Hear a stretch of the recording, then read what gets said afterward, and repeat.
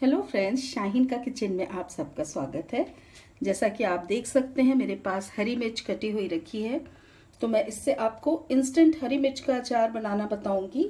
इसी तरह का मेरा एक और अचार डला हुआ है, लेकिन ये इंस्टेंट है, इसको आप अभी खा सकते हैं तैयार करके। ये वाली हरी मिर्च मैंने ली है आधा किलो, जिसको धो के, सुखा के अच्छे से और पोंछ लिया है। मैंने पीसेस कर लिए हैं इतने बड़े, आप अपने मनचाहे साइज़ में काटें, ऐसे ये बहुत तेज नहीं होती मॉडरेट होती है। अचार हम हमेशा सरसों के तेल में बनाते हैं तो ज़्यादा टेस्टी लगता है। यह है सरसों का तेल, हम अंदाज से डालेंगे।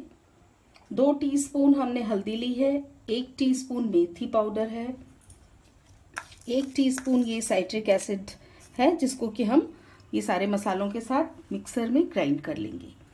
ये मेजरिंग कप है वन फोर्थ जिससे कि मैंने वन फोर्थ ये राई डाल ली है। ये हल्की होती है, इसलिए आपको क्वांटिटी में ज़्यादा दिख रही है। वन फोर्थ ही मैंने ज़ीरा लिया है। वन फोर्थ मैंने मोटी सौंफ ली है, बारीक वाली सौंफ ना लें। ये मैंने वन टीस्पून कलौजी ली है। अब इन सबको हमको ड्राई रोस्ट करना है हल्का सा, और ग्राइंडर में बारीक पीसना है।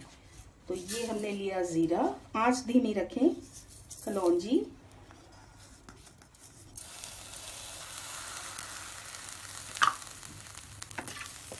सौंफ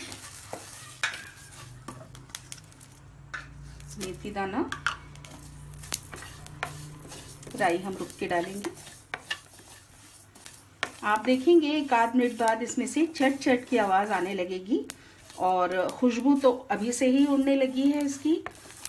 ये सारे मसाले जो हम अचारों में डालते हैं, इन सब का अपना मेडिसिनल वैल्यूज़ रहती हैं। इंडियन पिकल्स जो है, ये सिर्फ़ टेस्ट बर्ड्स को सेटिस्फाई नहीं करते हैं। इनमें बहुत सारे गुण होते हैं। ये है राई। इन सबको हम एक मिनट भून लेंगे। लगातार इसको चलाते रहें, नहीं तो राई जो है, वो चिपकने का डर रहता है। बाकी चीज़ें तो थोड़ा देर में भुनती हैं, लेकिन राई जल जाती है। इसलिए आप राई को सबसे एंड में डालें और चलाते रहें। नहीं तो जब ये पिसेगी तो थोड़ा कड़वापन देगी आपको। हल्का सा ठंडा हो तो इसको हम ग्राइंडर में साइट्रिक एसिड मिला के बारीक इसको पीस लेंगे। देखिए, मसाला पिस के तैयार है। मैंने इसमें साइट्रिक एसिड भी मिक्स कर लिया था पीसने के बाद। अब हम इसको बघारेंगे। नॉनस्टिक या थोड़ा मोटे तले का बर्तन लें। अचार में तेल थोड़ा ज़्यादा रहता है, इसलिए एक सवा कप के करीब तेल गरम कर लें। इसमें हम हाफ़ से वन टीस्पून के करीब हींग डालेंगे। हींग का अंदाज आप कर लीजिएगा, क्योंकि जो ग्रैन्यूल्स वाली रहती है, वो काफ़ी स्ट्रांग होती है और ये पाउडर फॉर्म वाली उतनी स्ट्रांग नहीं होती है। तो ये मैंने हाफ़ टी स्पून ली है। अब इसमें हम अभी हल्दी नहीं डाल रहे हैं, क्योंकि हल्दी जल जाती है। हम मिर्ची डाल के उसको एक मिनट फ्राई कर लेंगे। ये नमक है। नमक आप अपने अंदाज से डालिए, जितना भी खाते हैं। मैं एक डेढ़ टी स्पून मैंने लिया है टेस्ट करने के बाद फिर मैं इसमें और एडजस्ट कर लूँगी। मेरे ख्याल से दो टी स्पून इसमें लग जाएगा।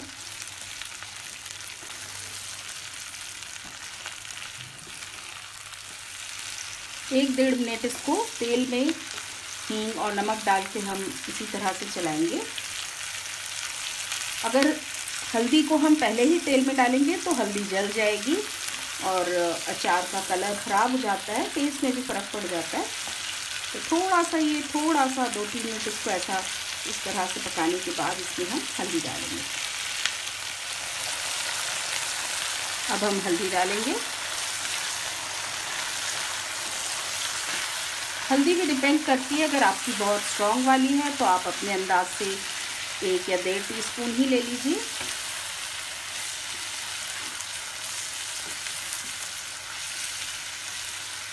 हल्दी बहुत बेनिफिशियल होती है। इसको हमें अपने खाने में कोशिश करके ऐड करना ही चाहिए।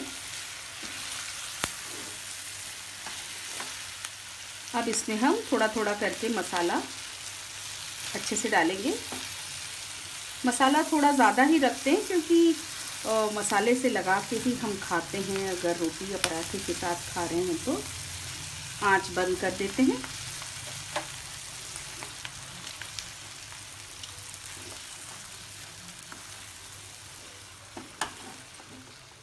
देखिए, ये तैयार है। थोड़ी देर बाद मिर्च थोड़ी दब जाएगी, तेल ऊपर आ जाएगा। मैंने टोटल इसमें दो कप तेल डाला है। अचार जो हैं, वो तेल में इस तरह से डूबे हुए रहना चाहिए तो वो ख़राब नहीं होते हैं। और टाइम टू टाइम हमें अचार को धूप दिखाते रहना चाहिए। और हमेशा सूखे चम्मच से, साफ़ चम्मच से अचारों को निकालना चाहिए। और थोड़ी क्वांटिटी में निकालना चाहिए कि वो ख़राब ना हो। और ये देखिए इंस्टेंट अचार हमारा तैयार है। इसको दोपहर के खाने में ही मैं इस्तेमाल के लिए निकाल लूँगी। आप भी इसे ट्राई करें। ये मिर्चें भी मार्केट में काफ़ी आ रही है। और मेरे चैनल को सब्सक्राइब करिए। सीखिए मेरे साथ इसी तरह आसानी से बनने वाले रेसिपीज़ और सब्सक्राइब करिए और लाइक करिए।